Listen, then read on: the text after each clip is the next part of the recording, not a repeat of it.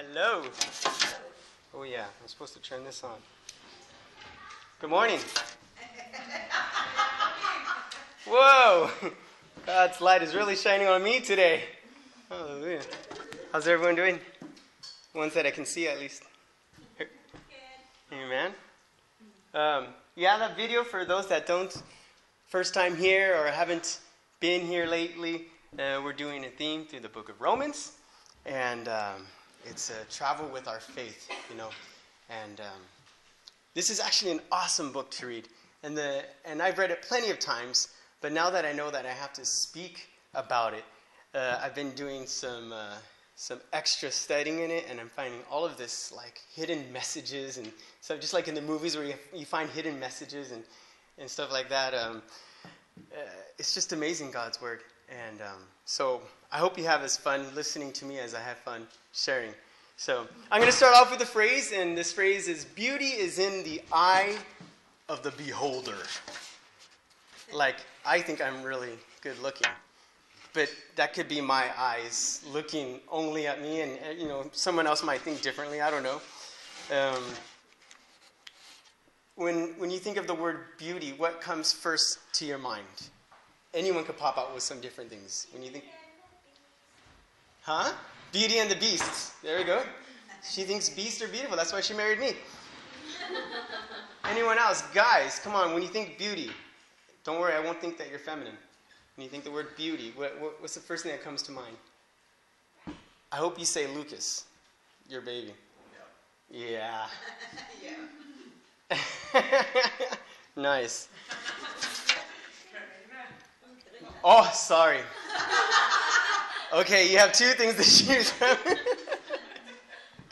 Uh, I won't say what I think is beauty because, no, my wife, obviously, right? I get to sleep with you tonight. Yes, no matter on the couch. Yes. Um, the title of my speech is called uh, Beauty in Slavery. And that's a weird combination right now. Can we even combine those two words together, beauty and slavery? Especially with what's going on today with human trafficking and, uh, and bringing different people into slavery for different reasons. Uh, we're fighting against this stuff. We're fighting against slavery. Um, but the slavery that I want to talk about is, is a totally different definition and, and uh, how we can talk about the beauty of this slavery. The first, uh, we're in chapter 6 right now, and our pastor Ike talked about the first part of chapter 6 about uh, freedom from sin um, and how sin no, no longer has a power over us um, and how we're actually free to disobey our sinful nature. Isn't that kind of cool? We're free to disobey our sinful nature. It's kind of like a twist. I like it, anyways. And then in the second half of chapter 6, what I'm going to talk about, it's more about the, the, the beauty of, of, this, of this freedom. And, and, and what does this beauty look like? Um, so I think, yes, slavery can be a good thing when it's slavery to God. And I'll get more deep into this as we go along. But the burden of the passing pleasures of sin can never compare with the freedom that we find uh, as Christians when we experience slavery to God. So you can have your definition of what slavery is in your head and keep that.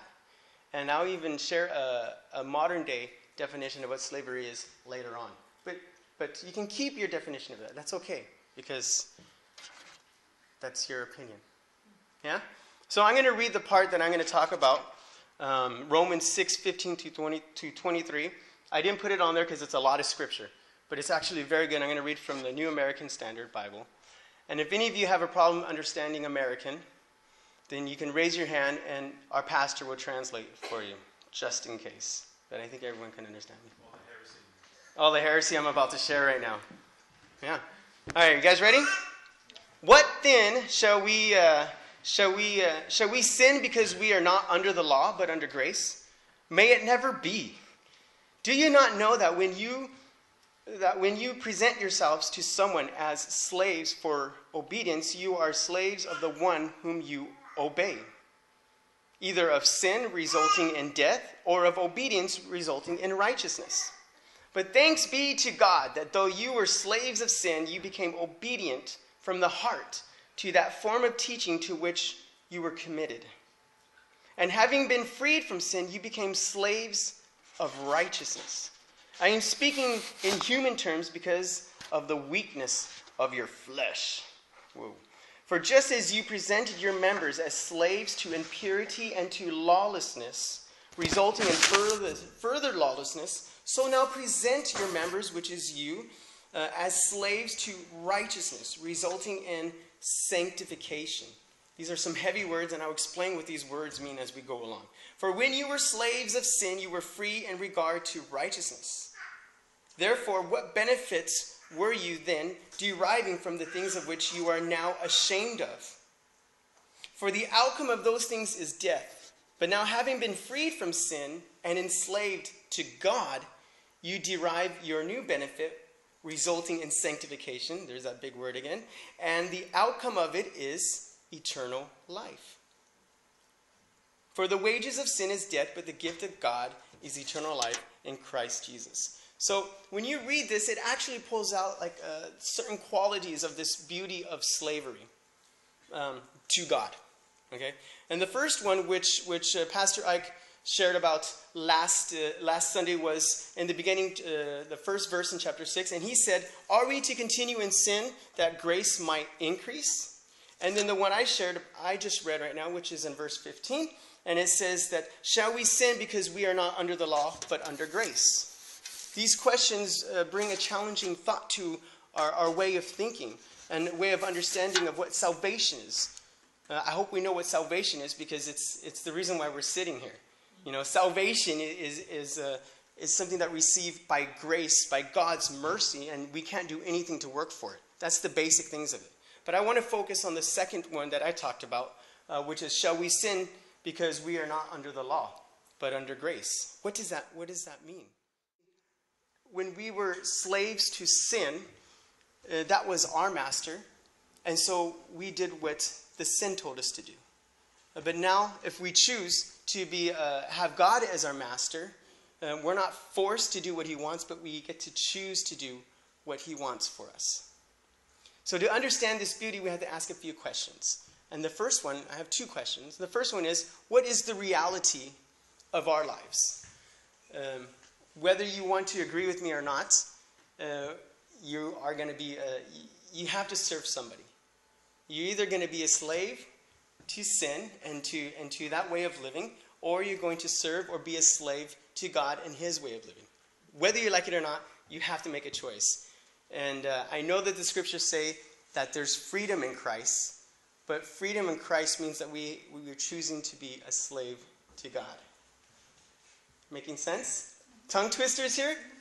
It's, it's pretty heavy when I was reading all this. I have some like little things here. It says either we are a slave of sin, which is resulting in death, or we are a slave to obedience, which is resulting in righteousness. Righteousness being made right. See, the new believer has a choice of serving sin or serving righteousness. Salvation brings freedom from the bondage, which is being handcuffed to sin, and allows the believer to choose another master. I choose God. And this is why. Either, either you're going to serve sin, and this is what serving sin brings. You might think I'm a little bit emo or melancholy, but, but, but this is actually what sin brings if you decide to serve sin. It brings broken fellowship, it brings shattered dreams, ruined health, painful relationships, legal problems, believe me, I know. Uh, yeah, and, and having sin as a master Unfortunately, it means death. But then, if you decide to serve obedience, and I'll explain what type of obedience I'm talking about, but the obedience that I'm talking about, it brings a form of purity, it brings freedom, and it brings what real fulfillment is all about. Having obedience as a master means sanctification. What's sanctification? That's a heavy word right there, and I'll explain it in just a bit. But in essence, sanctification means peace and joy and, and uh, growth spiritually. A new believer is free to serve the one who makes his life worth living. And to me, that's, that's God. He makes my life worth living, and He brings me peace, and He brings me joy. And, and uh, whether you want to believe it or not, I remember I was teaching uh, a gymnasium class. It was Santa's class uh, on the Faroe Islands, and they wanted me to talk about the Holy Spirit. it's kind of funny. And then I asked them first, hey, do you guys believe in ghosts and the spiritual world and stuff like that in there?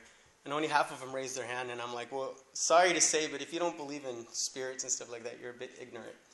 And they're like, why are we ignorant? But then I explained why, and that's a whole other preach. But there is a spiritual world out there. And I tried to have spiritual growth in so many other different areas of my life. And, and uh, I kept on hitting walls. I kept on allowing different things to come into my life that just screwed me up. But when I allowed God to come into my life in His Spirit, that spiritual growth brought fulfillment that I'm still enjoying to this day. So, the second question the first one is what is the reality of our lives? The reality is that we serve one side or the other. And then the second one is, is what are the consequences of our choices? Um, consequences, uh, just in case you didn't know, I'm a bit dumb, so I had to look it up. Consequences are not necessarily bad, it's just the outcome of your choices. Yeah? So, the consequences, what are the consequences of our choices? I believe that the believer must make a choice between shame and death on this side or righteousness and sanctification on this side.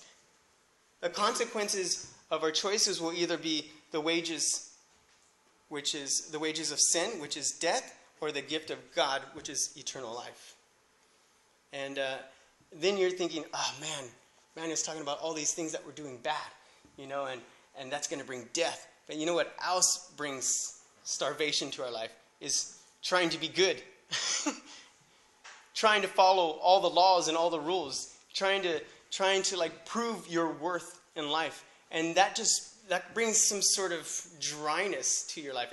At least it did to me when you're just trying to to like uh, like you're walking on eggshells following all the laws and the rules and making sure that you're doing everything right. And, and, and there's nothing in that. There's nothing in following in the law. It just, it, um, it, to me, it doesn't bring any fulfillment. What brings me fulfillment is identifying, it, identifying myself in, in the death and resurrection of Jesus and, and what he did for us. Um, and to know that hey our sins are forgiven we don't have to walk on eggshells trying to like know do everything that's right in the day yeah the first five chapters of romans basically talk about that salvation is by grace through faith chapter 6 is a new introdu- introduction i talked about having freedom from sin and then i'm talking about uh, the beauty of, of, of slavery in God and the whole idea of, of sanctification. I have these little questions for you just to think about. See, the new believer in Christ is saved from sin by grace through faith, but how is he sanctified? I keep on saying this word purposely. How is he made like Jesus Christ? How are we made like Jesus Christ? You hear about that all the time. That we want to be like Jesus Christ, but how can we be made like Jesus Christ? And what does it mean by which he actually become how, how do what does it mean that we're actually becoming a better person? And is the believer someone that believes in Jesus, saved by grace, and then this sanctified word is do we receive that by the things that we do? Is it by works? And what is the believer's role in the process of this change in our life, this, this transformation? Okay, so here's the big question What is sanctification? Uh, Romans 6:19 says that. So now present your members, which is which is yourselves, as slaves to righteousness, resulting in sanctification. Sanctification, basically, the simplicity of it is that we are um, becoming more like Jesus Christ. And if you read about who Jesus is, then you know what type of person he was and, and his characteristic. Um, but I want to talk about that there's two different types of this being like Jesus. There's the, and this is like teaching stuff that I'm giving you right now. But um, there's the positional sanctification. And if, it, if positional means that you're standing right here and you're not moving, that means that, that uh, positional sanctification is the minute that you start believing in Jesus Christ and what he did for your lives, bam, you become like Jesus. When God looks at you, he doesn't see your sinful nature. He sees Jesus in you. And so, therefore, you're made perfect, you're made holy, you're made clean, period. That's right when you start believing. That's what personal sanctification means sanctification, holiness, sanctification, being like Jesus. Then you got this journey. And that's why we're going through book of Romans, because it's a journey. And you got this progressional. Progressional means you're getting there little by little by little. And this is progressional sanctification. And it means that we're growing into the fullness of what sanctification means being like Jesus 100%. So, what does sanctification look like in our lives? I believe that sanctification means that a believer is less characterized by the sin that's in him and more characterized by the spirit that is in him. I believe that sanctification looks like you are less characterized by the sinner and more characterized by Jesus. I believe a person that is sanctified is more aware is more aware of his unworthiness in the flesh before a holy God. But then he's also more confident and that he's accepted in Christ because he has the Holy Spirit in him. You see, dealing with, with this journey through sanctification is one of the hardest things that we can go through. And we can get so frustrated with ourselves because we don't we think we're not there yet. We haven't arrived yet. Of course we haven't. We won't arrive there until Jesus comes again and gives us these perfect bodies. And I'm really looking forward to that because I would like to look, you know, I like this. Yeah, I, I look good right now, I know, but I would like, you know, a better body, okay? Period. And, and so I'm looking forward to that. But it can be so frustrating the way I look at myself now and the way that I'm living my life now. And, I, and I'm trying to become more like Jesus every single day of my life. And I keep on tripping over my small feet. And I'm just like, ugh. But then I realize, wait a minute, there's a beauty in this sanctification, and that's called the positional sanctification. Because, wait a minute, even though I'm growing into being holy and perfect and like Jesus, I'm already holy and perfect like Jesus in God's eyes right now. See, but God, you know, he, he, He's omnipresent, He's um, all knowing, omniscient, whatever. You know, the three omnis. He's all knowing, He's, he's all present, and, and he, He's everywhere, okay? And so He's not bound to time, you know? And so when He looks at us, He's not looking at us in the time that we're having growing into this holy life. He's looking at us without time involved, saying, Wow, there's my perfect son or daughter that I created. Isn't, isn't, isn't, isn't he or she beautiful? Wow. You know, and then that becomes a blessing. And that shows what true beauty is. I got this video to give you a little visual of what uh, I can best explain sanctification to be like. The journey, that is. So you can play it right now if you want.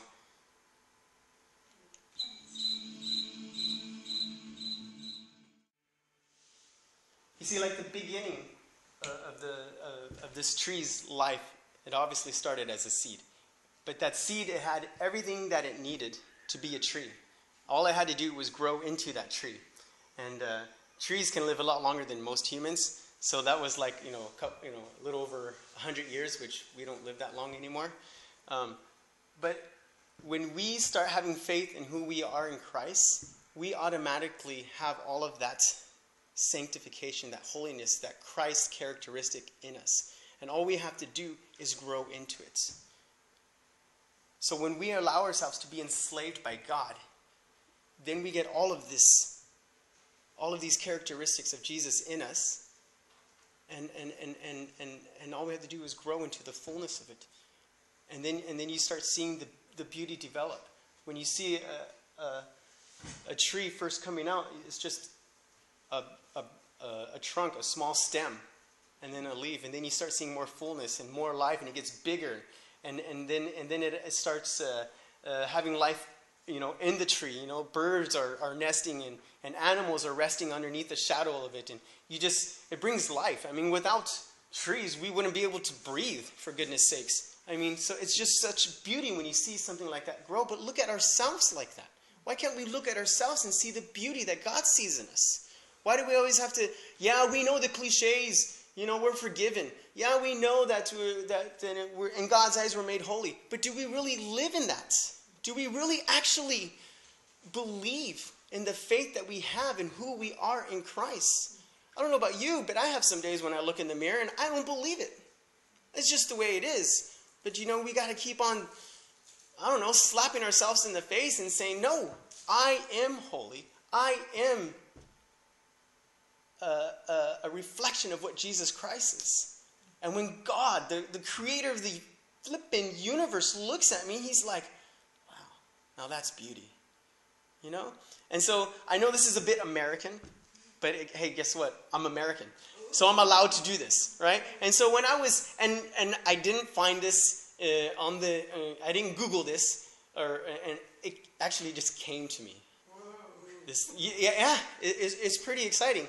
Um, and so when I was thinking, you know, um, beauty in, in, in slavery, and then I was looking at the word beauty, and uh, then I, I, I, broke it apart and I looked, oh, what can the B stand for? And what can the E and the A and the U and the T and the Y for beauty? And uh, this is what I came up with beauty. The B is for belonging, the E is for engaging, the A is for, no, I won't sing. And the A is for attitude, and, and the U is for unifying, and the T is for testifying, and the E is, the Y, the Y is for yielding. And um, I'll explain why. Because for me, when I look at these, these help me remember and, and help me on my journey uh, of this progressive sanctification. The first thing that, I, for me, you know, is, is uh, who do I belong to? Knowing who you belong to. Uh, 1 John 3 1 says, See what great love the Father has lavished on us, that we should be called children of God. And that is what we are.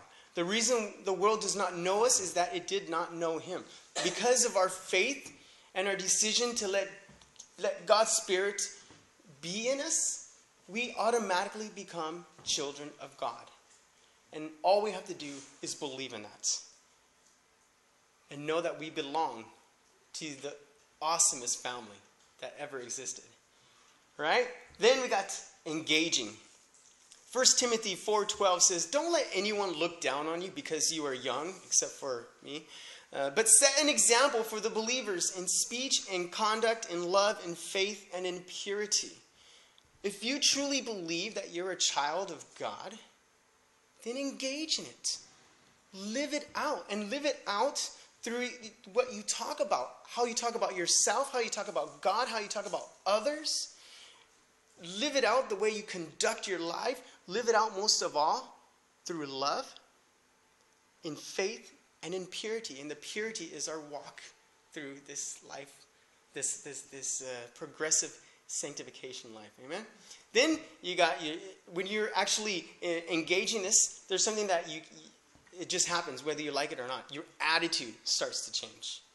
Whether you like it or not, I don't care. Your attitude, if you're actually believing that you're a child of God and you're actually engaging this mentality, your attitude is going to change. And your attitude is going to change, is going to be the attitude of Jesus Christ. Philippians 2 5 says, Your attitude should be the same as that of Christ Jesus, who, being in very nature God, did not consider equality to God something to grasp or hold on to, but he let it all go and came down here to earth to serve us. Service to the point to, to death, and death on the cross. That's what it says. And that's going to be our attitude, whether we like it or not when we're actually engaging that we believe that we're children of God.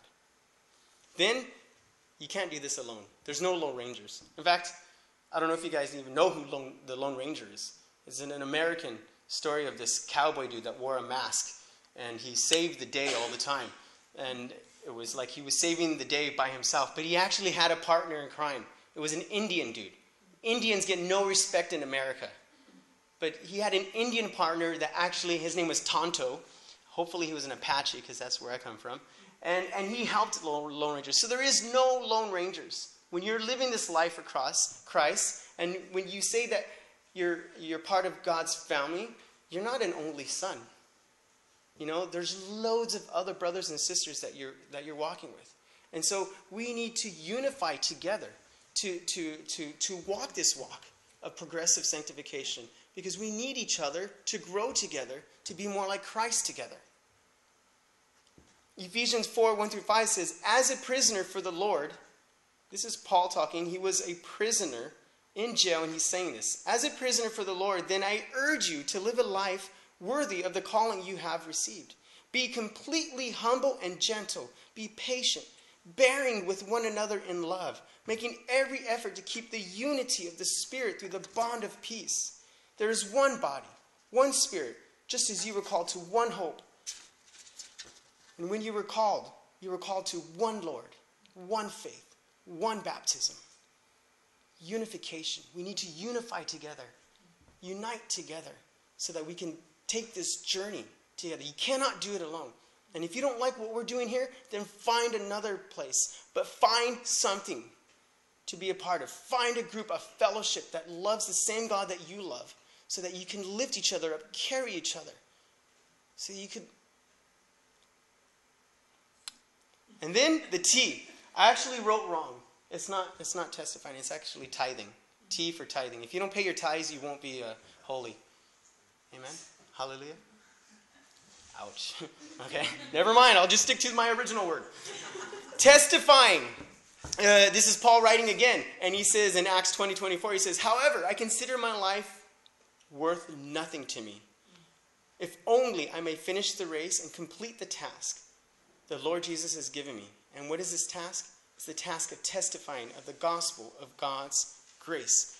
This is what the book of Romans is talking about. The, the, the, gospel of grace. What is God's grace? It's God's mercy. What is mercy? It's grace in action. Amen. it's a tongue twister right there, but it's true. God's grace. What can you share a story of God's grace in action in your life to someone else that asks you about it? Why do you serve this God? Why do you try to be so much like this guy Jesus? Well, let me tell you. And then you tell him a, a testimony of what God has done in your life how he's shown grace and mercy on your life. Can you do that? Do you want to do that?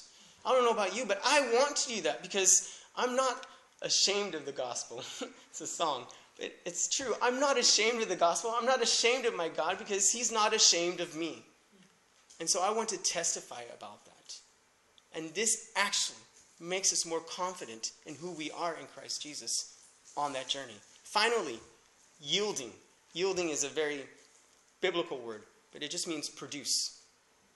Proverbs 8:19, and I could have used loads of verses to uh, define yielding, but I use this one. It says, "My fruit is better than fine gold; what I yield surpasses choice silver." When you are living this life of progressive sanctification, when you are living this life where you're learning to be more like Christ Jesus, you will naturally produce fruits. What's, this, what's, the, what's the fruit of the Spirit? This is the fruit I'm talking about. The fruit of the Spirit.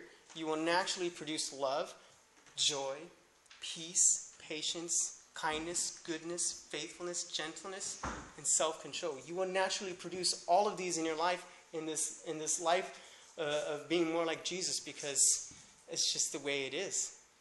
That's, that's, just, that's just how awesome our God is. And that's what He'll do through us. He'll produce all of these things. So I know it's a bit American, but, but to memorize these if you want. The beauty uh, phrase, it, it helps me. And uh, even though I just thought of it the other day, um, but I, have actually been doing a lot of these already, and I didn't even know it. Amen. So, yeah, slavery to God is is true beauty, you all. Uh, even for us manly men, We've got to have this beauty in our lives, right? Right? It's true freedom. So, so I, I told you what in the beginning what your uh, what do you think is what does slavery mean to you? And, um, and especially because of the days and age the, the, day, the days now and, and what slavery is in our mentality and what's going on in this world. But then i looked up slavery and what it means today the, the, the definition of it. And this is what it means. It means a, a relationship a civil civilized relationship in which one person has absolute power over the life fortune, and liberty of another.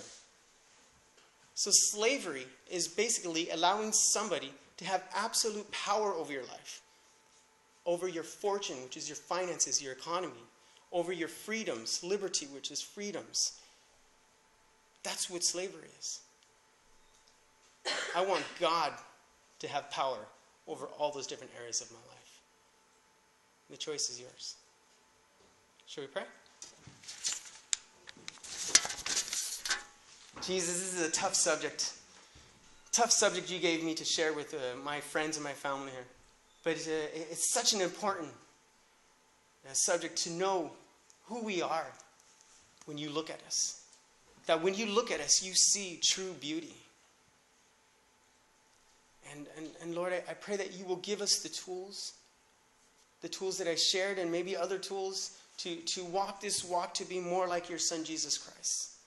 And not to walk alone, but to walk together and help each other through this, through this journey, through this journey of faith.